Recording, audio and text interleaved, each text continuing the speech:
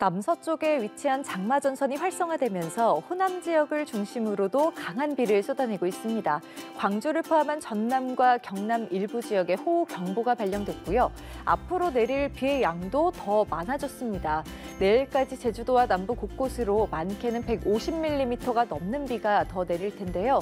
이미 큰 비로 인해서 집안이 약해진 곳들이 많아서 안전사고에 각별히 주의하셔야겠습니다. 비구름이 거친 곳들로는 다시 낮더위가 기세를 올리고 있습니다. 오늘 최고 기온 대구는 33.8도, 속초는 32.4도로 어제보다 많게는 10도 이상 높아진 곳도 있는데요. 곳곳으로 오늘 오전 일기에서 폭염주의보가 발효된 가운데 내일도 오늘과 비슷하게 덥겠습니다. 한낮 기온 서울과 광주는 29도, 대구는 32도가 예상되고요. 습도가 높아서 체감 온도는 이보다 1에서 3도가량 더 높은 곳들이 많겠습니다. 불쾌감이 심할 수 있으니까요. 통풍이 잘 되는 옷차림 하시는 게 좋겠습니다. 내일 내륙 곳곳으론 오후까지 요란한 소나기가 지나겠고요. 이후 정체 전선이 북상하면서 모레부턴 다시 전국에 장맛비가 쏟아지겠습니다. 국지적으로 강한 비가 쏟아질 가능성이 높아서 대비하셔야겠습니다. 지금까지 생활 날씨였습니다.